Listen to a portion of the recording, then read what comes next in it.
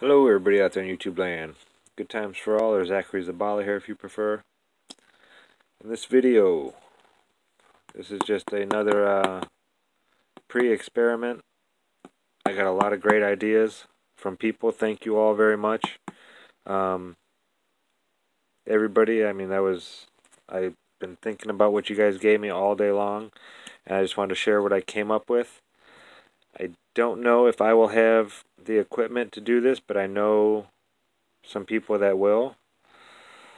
So here we go. Um,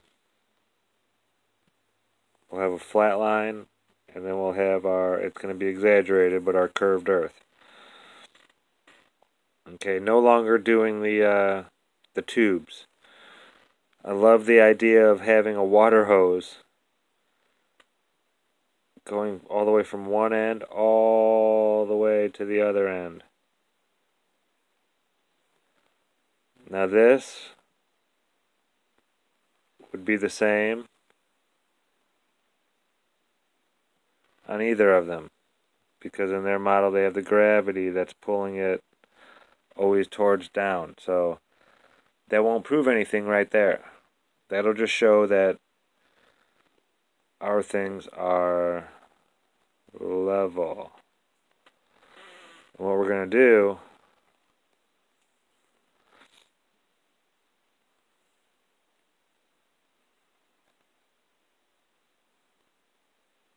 we're going to have the uh, I want two of them. Really about I'm thinking a hundred. I've been working on the math, and you're going to need them at least a hundred yards apart these two things perfectly level. Okay, you don't even need another one at this end. All you need is, whoop, sorry about that folks. All you need at this end is your camera at the right height, maybe a small one to look through, just to give your camera maybe two little small ones just to look through.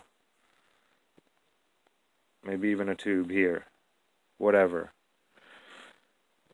But down here is where we're going to line, these are going to be perfectly flat and level. The X's should line up on this one.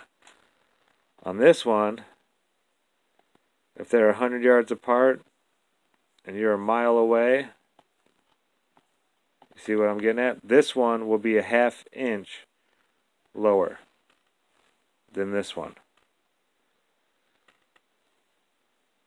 We have our tubes here and all that. Blah, blah, blah,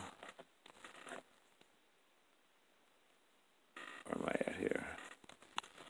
Okay. So at a mile away, when you're looking through here like this, the one in the back should be uh, just a hair lower. I'm thinking making this one like bright neon yellow and then this one black.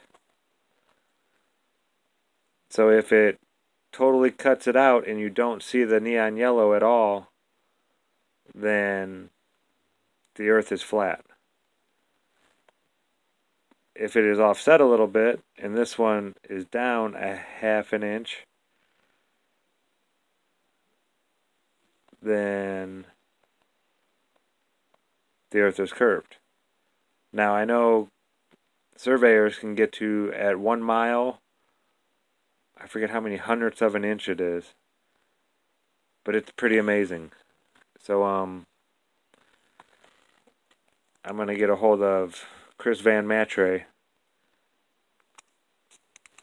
and um, talk to him about this and see what he thinks about it. But uh, thank you all so much for all of your great ideas. Any more ideas on this?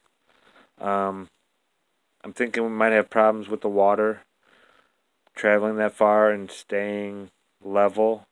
Might have to do it in sections or something. Um, I want to stick away from the lasers